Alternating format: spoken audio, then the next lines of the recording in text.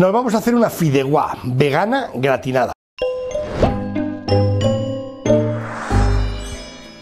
Y los ingredientes que vamos a utilizar son setas congeladas, guisantes, dados de zanahoria, puerro, calabacín, pimentón dulce, albahaca, ajo, cebolla, tomate natural triturado, cúrcuma, mahonesa, fideos para fideuá, sal y agua. Lo primero que vamos a necesitar es rehogar el ajo y la cebolla, así es que vamos. Ponemos un poquito de aceite de oliva sobre la sartén.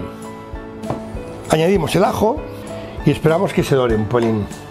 Añadimos la cebolla y dejamos que se dore. Una vez hecha la cebolla, añadimos el resto de verduras.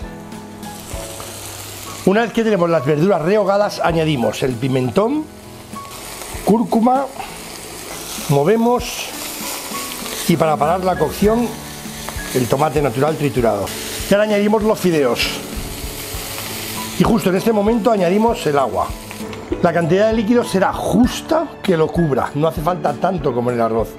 Y ahora un poquito de sal y un poquito de pimienta.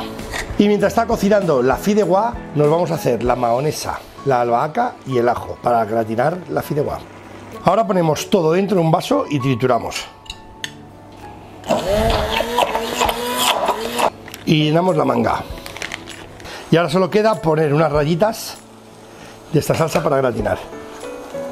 Y ahora simplemente lo gratinamos en el horno. Y tenemos lista nuestra fideuá vegana.